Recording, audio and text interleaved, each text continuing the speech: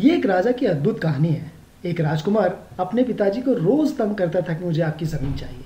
राजा ने कहा, देखो, मेरे पास इतनी ज़मीन है, ये स्क्वायर जितनी और हर रोज मैं तुम्हें इसकी आधी आधी आधी करके दूँगा। सबसे पहले दिन इसकी आधी और हर अगले दिन बची हुई ज़मीन की आधी ज़मीन तुम्हें देता रहूँगा। तो सवाल ये है कि उस राजकुमार को बहुत दिनों बाद राजा की कितनी ज़मीन मिली? अब ये हम ज्योमेट्रिक सीरीज़ की तरह भी कर सकते हैं, लेकिन इस पेपर को काट कर भी इस सवाल का हल निकाल सकते हैं। चलिए देखते हैं।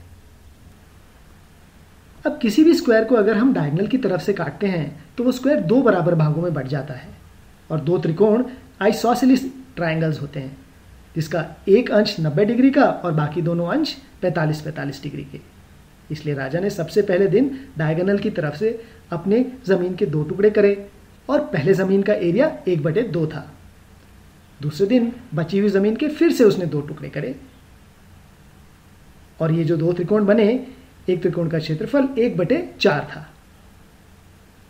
तीसरे दिन बची हुई ज़मीन के फिर से दो टुकड़े करे, जिससे एक का एरिया एक बटे आठ हो गया। अब मज़े की बात यह है कि ये जितने भी त्रिकोण हैं, ये सारे ही त्रिकोण एक जैसी ही शेप के हैं। पहले वाले को अगर हम सबसे बड़े त्रिकोण के ऊपर रखें तो आप देखेंगे सबकी शेप सेम है। सभी 90 45 45 डिग्री के त्रिकोण हैं।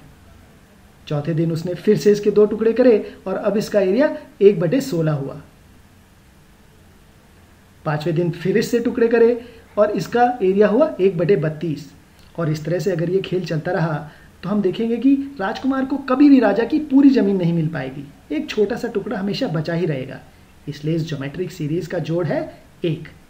और ये काम हम स्क्वायर को डायगनल की जगह लंबाई में काट कर करके भी देख सकते हैं। देखिए, इस तरह से लंबाई में अगर हम काटते रहेंगे तो ज़मीन आधी आधी आधी छोटे छोटे भागों में बढ़ती रहेगी। और यही है ज्योमेट्रिक सीरीज़ का फॉर्मूला